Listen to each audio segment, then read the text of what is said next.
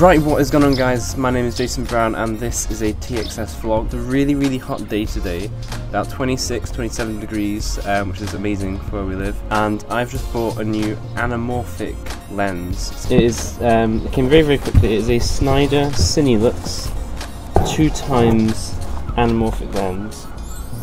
And I'm very, very lucky because I got it at a fantastic price. They usually these go for um, £5,000 new. I got mine for much, much less.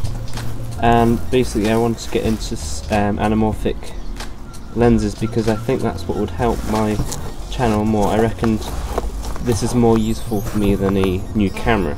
Now the problem is I haven't got any of the clamps for this yet. Um, I'm going to get that just in a couple of days. So I've got a stool and I've got a camera and I'm going to try and line up the lens and get a scene over here and hopefully that'll work. The lighting is actually pretty harsh right now, you can see just there, but we'll see what we can do. You can see that it's, it's lined up and it sort of looks normal, but if you take a good look, um, it is squished. It's squished horizontally by two times, and that's what's happening in the lens here. It's hard to see, but there's a definite horizontal squish and usually what I'd do is I'd have a clamp in there or a 15mm rail system. It's probably a better idea. And I'm most likely going to get a new lens as well because I think um, 55mm is like the minimum minimum focus um, sorry minimum focal length that I should be using. Might get away with a 50mm but I want to prime just in there.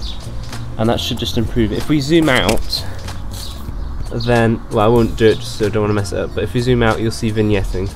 So we'll hit record on that.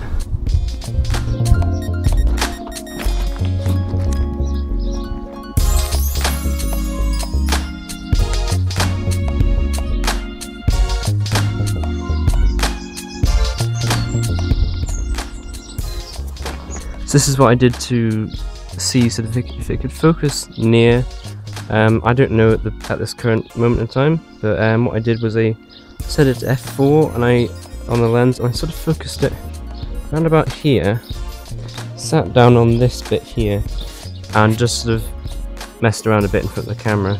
So see how it turns out, you'll see for yourself.